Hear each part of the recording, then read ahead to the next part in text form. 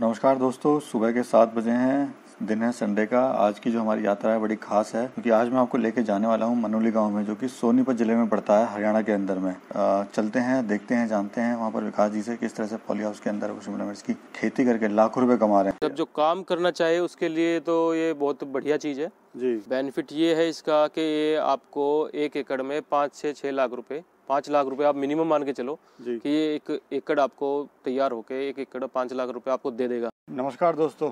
दोस्तों आज हम मनोली गाँव में आए हैं और विकास जी हमारे साथ हैं। विकास जी नमस्कार नमस्कार सर। सर मैं मनोली गाँव से विकास कुमार।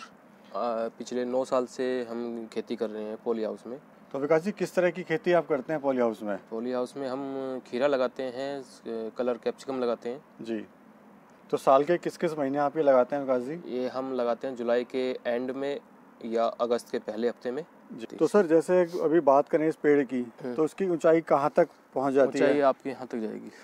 आठ फुट तक ये आठ आठ नौ हो जाता है। हो जाएगा आराम से। तो कितने इस एक प्लांट में कितना फ्रूट आता है? कितनी इसमें शिमला मिर्च आती है?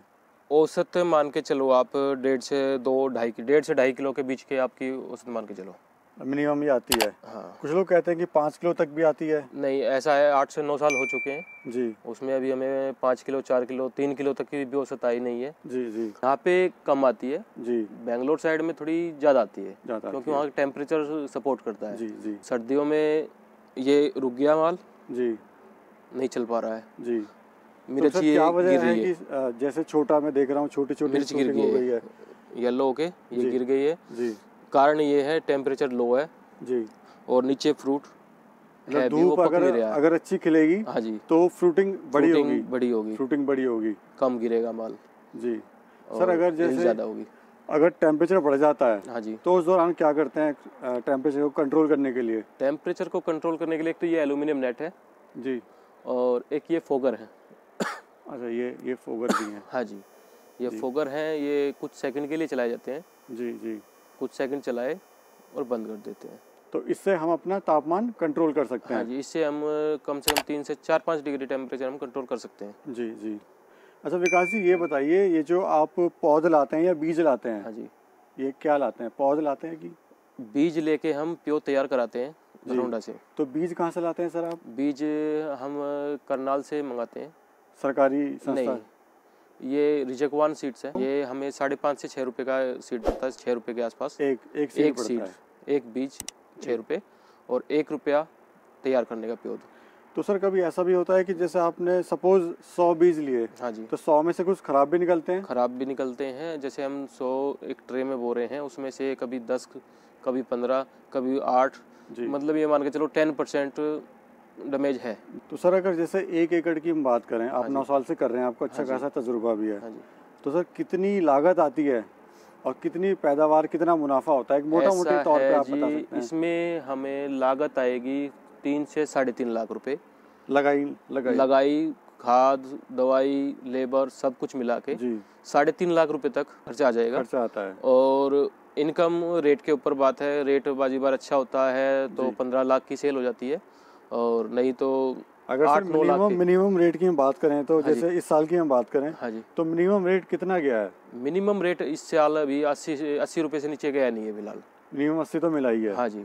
निकल जाता है। जैसे आपने कहा कि एक पेड़ से तीन डेढ़ से दो किलो अब निकल जाता है। कुछ ये है अब कुछ पौधे हमें ऐसे चमकते हैं कि इसमें माल दो किलो है ढाई किलो है तीन किलो है। लेकिन एक पौधे को देख के हम औसत नहीं निकाल सकते। नहीं निकाल सकते। वो ओवरऑल औसत हम लास्ट में देखते हैं कुछ पौधे ऐसे होते हैं वो एक फ्रूट दे रहा है। तो सर इसमें कितने पौधे होंगे आपके इसमें पूरे? ये नौ हज़ार प्लस एक एकड़ में नौ हाँ हज़ार। अच्छा कुछ लोग सर बारह हज़ार दस हज़ार पौधे तक लगते हैं दस हज़ार पौधे तक लगते हैं। हाँ जी।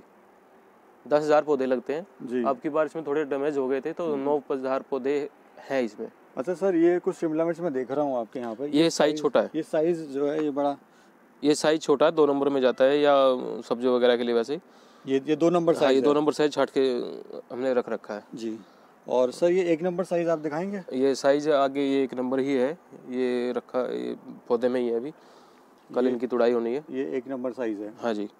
अच्छा ये सबसे बढ़िया साइज़ होता है एक नंबर साइज़ हाँ जी।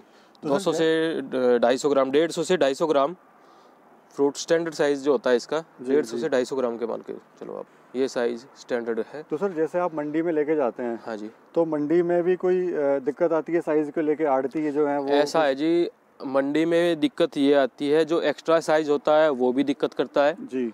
और जो लो साइज़ होता है वो भी दिक्कत करता है। जी जी। एक्स्ट्रा साइज़ जो 300 ग्राम का हो जाए तो भी वो बिकने में दिक्कत करता है। जी। और बड़ा रह हो जाए तो हाँ भी दिक्कत है और छोटा रह जाए तो भी तो भी दिक्कत दिक्कत है। तो सर कुछ इसका तरीका है जिससे हमारे जो किसान भाई जो देख रहे हैं इसको साइज़ मेंटेन कर सकें? कुछ ऐस, ऐसा है भाई जितने ज़्यादा फ्रूट आएँगे जी। उतने ही चांस हैं लो साइज़ के। और एक जो सर्दियों के मौसम में मिर्च की शेप खराब होती है वो ऐसे हो जाती है छोटी रह जाती है तो इसलिए ईल्ड कम आती है और ये छोटी से रह जाती है।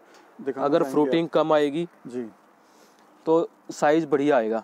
साइज़ बढ़िया आएगा? आठ से दस फ्रूट होंगे पौधे में तो साइज़ होगा बढ़िया। अच्छा, तो सर कितनी लेबर आपके साथ यहाँ पे काम करती है?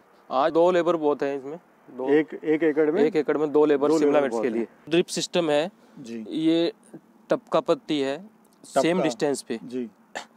जी ये छेद है सेम डिस्टेंस पे छेद है सारे पे। जी। वहाँ से प्रॉपर पानी चलता है और खाद वहीं से हम चलाते हैं इसमें। तो इसमें कहने का मतलब आपका ये है कि इसमें भी आप दवाइयाँ डालते हैं ताकि जड़ों को विटामिन और न्यूट्रिशन मिलता रहे। न्यूट्रिशन डालते हैं जो खाद चलाता हूँ कैल्शियम चलता है तेरह ज़ीरो पैंतालीस चलता है एनपीके जो चलता है जी। वहीं से हम पानी में चलाते हैं घोल के। सर कुछ और आप बताना चाहोगे हमारे दर्शकों को ताकि उनको नॉलेज मिले कि कोई अगर भाई काम करना चाहे तो कैसे सब जो काम करना चाहे उसके लिए तो ये बहुत बढ़िया चीज़ है। जी। बेनिफिट ये है इसका कि ये आपको एक एकड़ में पाँच से छः लाख रुपए पाँच लाख रुपए आप मिनिमम मान के चलो कि ये एक एकड़ आपको तैयार होके एक एकड़ पाँच लाख रुपए आपको दे देगा। सर ये जो पॉली हाउस लगवाया आपने कहाँ से लगवाया? किस कंपनी से लगवाया ये? ये पोली हाउस में मैंने लगाया है फ्यूचर एग्रीटेक से। जी। ये भिवाड़ी में है। जी जी। और ये मैंने पिछले साल ही लगवाया है। अभी इससे पहले मैंने क्रॉप ली है खीरे की। अच्छा इसी में ही आपने खीरे की क्रॉप ली है। खीरे की क्रॉप मल्टी क्रॉप ली है आपने? नहीं खीरे की क्रॉप लेकर मैंने जुताई करके फिर से शिमला मिर्च लगाई है। तो सर इस पॉली हाउस को लगाने में क्या खर्चा आया होगा आपका सर? ये मान के चलो तेरह से साढ़े तेरह लाख रुपए। तेरह से? साढ़े तेरह लाख। तो इसमें आप सब्सिडी मिला के बता रहे हैं या फिर लागत? ये सिर्फ़ फार्मर शेयर बता रहा मैं। अच्छा अगर कोई किसान भाई लगवाना चाहे एकड़ हाँ में एक एकड़ में तो तेरह से साढ़े तेरह लाख रुपए। हाँ जी फार्मर शेयर क्योंकि हरियाणा में ये सब्सिडी पैंसठ परसेंट है। जी। और अदर स्टेट में ये पचास परसेंट है किसी में कोई स्टेट दस परसेंट दे रही है सब्सिडी कोई नहीं दे रही है। जी। ये सेंटर की पचास है स्टेट की पंद्रह परसेंट सब्सिडी अलग से दे रही है हरियाणा गवर्नमेंट तो तेरह लाख रुपए लगा के या साढ़े तेरह लाख रुपए लगा के हाँ जी। कोई भी किसान भाई इसको लगा सकता, लगा है। सकता है। तो रजिस्टर कराना पड़ेगा सर गवर्नमेंट में या कैसे करना पड़ेगा? तो कितना टाइम लग जाता है सर इसको प्रोसेस को करने में? डेढ़ से दो महीना। और दो महीने से तीन महीने आपको ये तैयार करने में। तैयार हो जाता है हाँ ये चार से पाँच महीने में आपको मन- के चलो तैयार हो जाएगा बिल्कुल। तो इसके ऊपर कोई सब्सिडी नहीं मिलेगी बस तेरह तेरह से साढ़े तेरह लाख रुपए जो आपका लगा है इस पे हरियाणा गवर्नमेंट ढाई दो से दो अस्सी सब्सिडी देती है पहली फ़सल पे। सर ये जो इसमें मैं देख रहा हूँ जो हाँ जी। पन्नी टाइप जो लगा हुआ है ऊपर इसको कितने समय बाद इसको चेंज करना पड़ता है? इसकी मियाद जो गवर्नमेंट कहती है कंपनी कहती है ये तीन साल कहती है। जी। लेकिन ये चार से पाँच साल चल जाती है। जी जो थोड़ी बहुत कहीं दिक्कत होती है कहीं दिक्कत होती है तो चेंज करा देते हैं उसे छोटे एरिया को और ये पाँच से छः साल निकाल देती है। निकाल लेती सर कुछ और दर्शकों को कुछ बताना चाहें जो जो आप लोगों से जुड़ना चाहते हैं या किसी तरह से आप मदद कर सकते हैं उन लोगों की? भाई साहब बिल्कुल आओ आके देखो। कुछ ट्रेनिंग प्रोग्राम भी आप चलाते हैं? ट्रेनिंग प्रोग्राम हम नहीं चलाते हरियाणा गवर्नमेंट चलाती है। जी। घरोंडा में घरोंडा में करनाल में। जी जी। सर और कुछ ट्रेनिंग सर्टिफिकेट के बाद ही ये लगाया जाता है ये लगाया पोलियो। तो कितने महीने की ट्रेनिंग होती है सर? चा, चार से पाँच दिन। थैंक यू सर उम्मीद है दोस्तों वीडियो पसंद आई होगी। लाइक करें शेयर करें सब्सक्राइब करें। पास वाले घंटे का बटन ज़रूर दबाएँ ताकि जो भी आने वाली वीडियोस हैं उनका नोटिफिकेशन सबसे पहले आप तक पहुँचे। एक नई वीडियो के साथ मैं फिर हाजिर होऊँगा तब तक के लिए जय हिंद।